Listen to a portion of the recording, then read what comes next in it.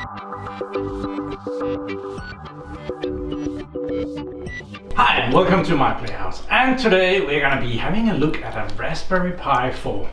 My buddy Jim uh, thought that I might find this interesting. I usually um, look at way bigger things than tiny little Raspberry Pis uh, but he just came by, he had been to the post office post office and he came and he put this box in my face and said oh you gotta see this. Um, but he's shy himself so he's sitting right here laughing at me but he don't want to be on camera himself. But we get to see his toys. So uh, yeah let's unbox this Raspberry Pi which apparently has a Danish keyboard which might be important. We have the box and it's marked Jim. He has cheated. He has started on this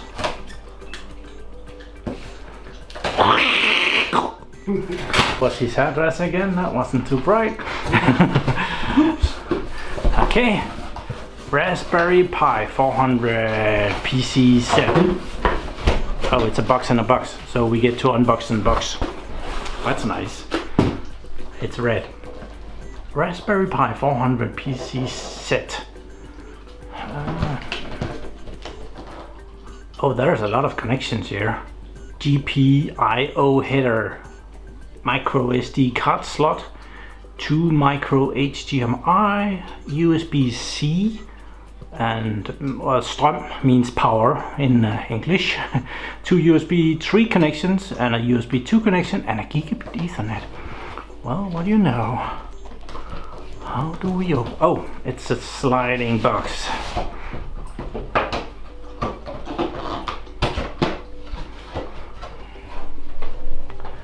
Oh, I, have been on the roof mounting solar panels. I have washed my fingers, but this is too white for my dirty hands. So um, yeah, it's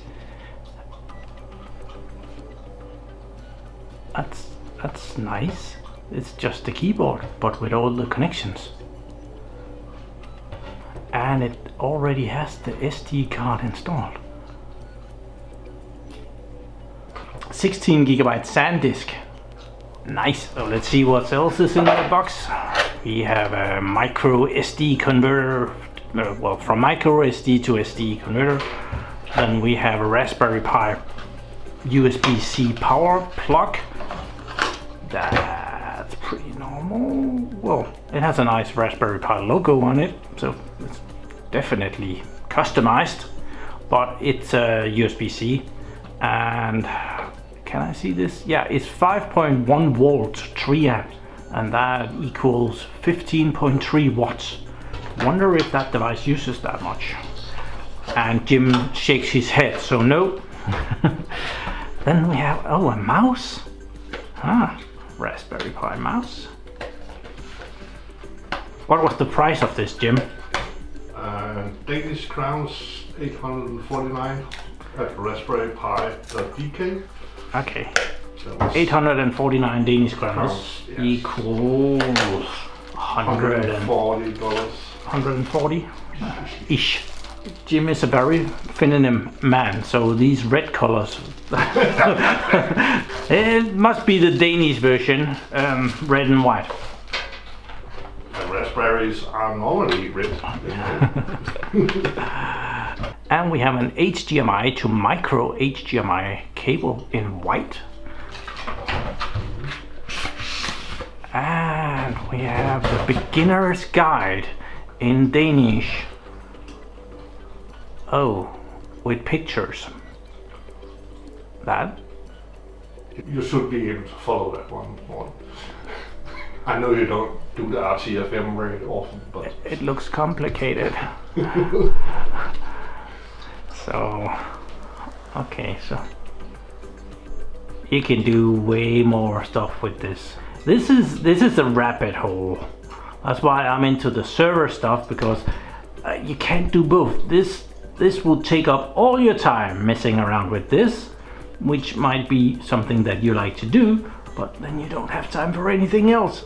There's so many cool things that you can probably do here and connect it to external stuff and control. Well, this looks like a simple setup where you control an LED from the Raspberry Pi. Yeah, I did that way back in on a Commodore 64. It is like a Commodore, right? As you have the whole computer. Yeah, it, it actually is. like the Commodore or the Spectrum set 81-ish. So I think we might need uh, to connect this to a monitor to uh, to see if it works. My cute little setup here, I have one of these tiny little screens which are meant for uh, filming. It's a filming monitor, but it's great for this sort of tiny work. So uh, we have popped the HDMI cable in, in, in the monitor and we have the micro SD, that's not, micro HDMI. Yeah, micro HDMI.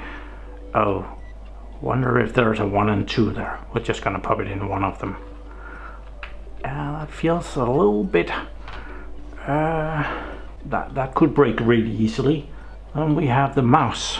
Uh, that needs to go in probably the USB 2 connection will be accurate there and then we need a power plug and the cable isn't too long so uh, I had a bit of a trouble there but let's see if that isn't long enough.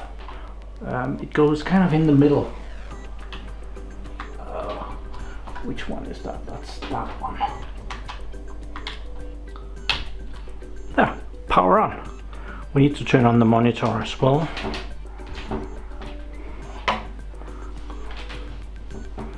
Field monitor. And it finds something and it's already booting resizing root file system reboot five seconds hmm.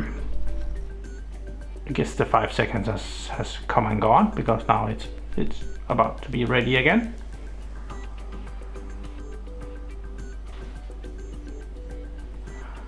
oh that, that is kind of cute and the mouse is working. That is really a micro setup. And I am told that it is actually also pretty powerful. Uh, I think we need to go next here. Uh, luckily it stopped talking Danish. Uh, so probably only the manual is in Danish. Oh, we can set that. Oh, we can set that up right away here. So country, we will select the right country. I see that we are able to afterwards select the language to use Denmark language English time zone Copenhagen. I guess that will have to do. Use English language? Yeah. I don't know. Use English keyboard? No. Probably we're gonna mess this up. Password. So let's put in something that Jim don't know about. There we are. Top secret password. Next. Oh setup screen so we're gonna set up the screen because there is black all around here so it would be nice if it used the whole thing. Searching network. Oh so we can jump on the neighbor's network. Does it have 4G 5G next. And I'll put that in. Okay network connected. Software setup. Go go gadget. This is very much just next next finish ish this is almost Microsoft Windows. We start by downloading the updates.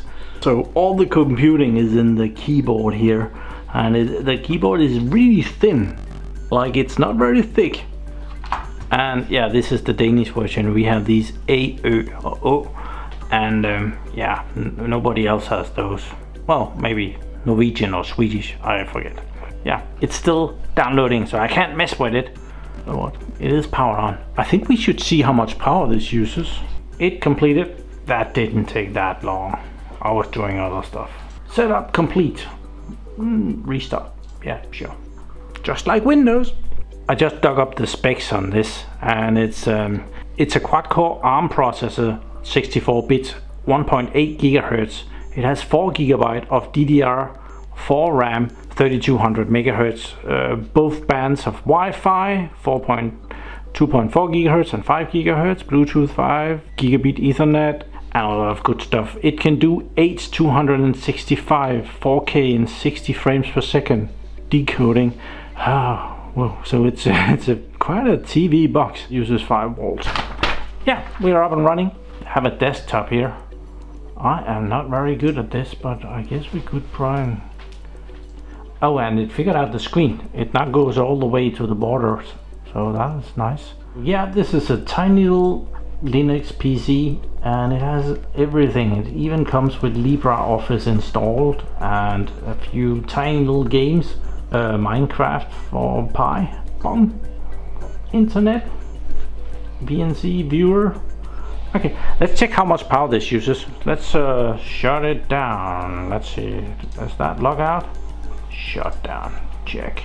So up here we have the connector. So we're just gonna unplug that for a few seconds. Put in this power meter and plug that back in. There and we'll go turn the device on and see how much power it uses. So normally it powers on when you connect power to it. So we just shut it down. We want to test the power button is up here. F10 also have the power sign and then there is two signs down here.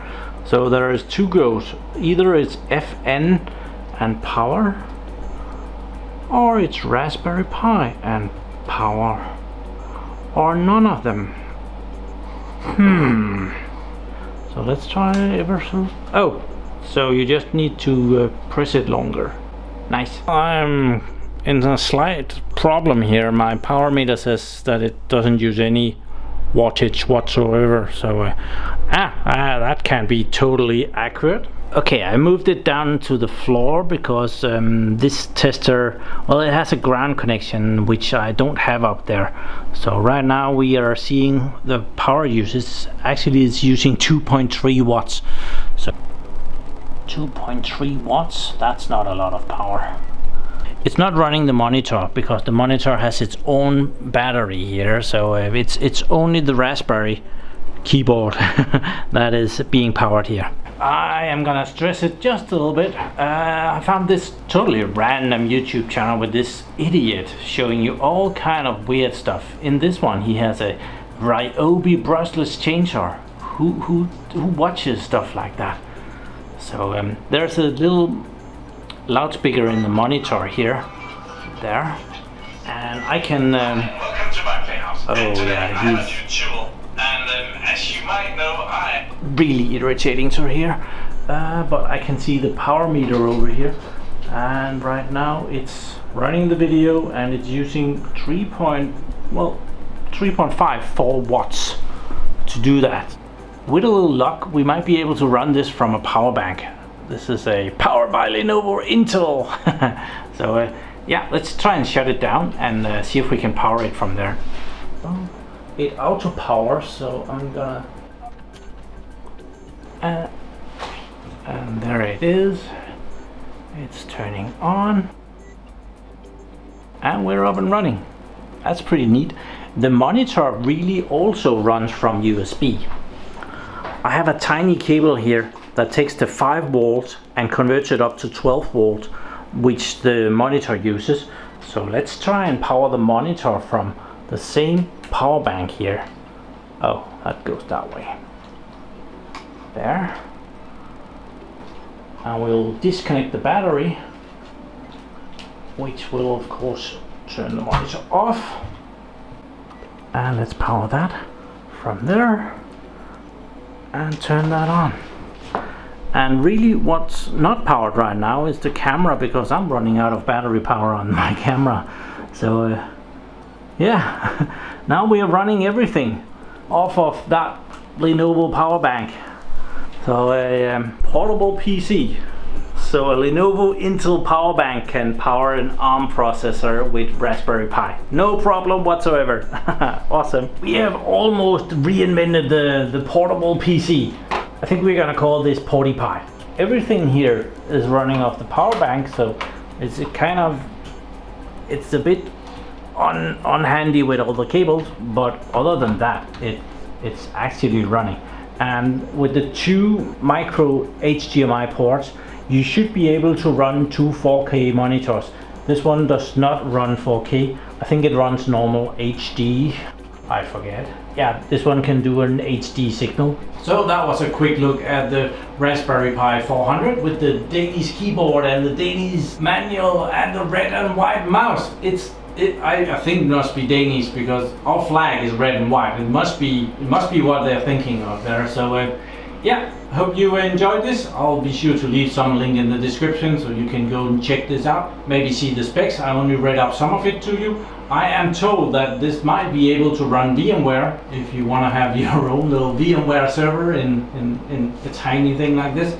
We didn't ever really see the back of it. It kind of looks like that. And it's not very big. It's tiny PC. So, thank you very much for watching my videos. Do subscribe to my channel so you can see me again and have a really nice day. Bye bye.